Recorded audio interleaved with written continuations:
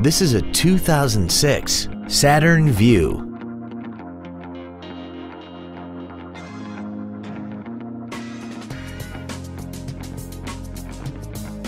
Features include cruise control, full power accessories, dual airbags, and air conditioning.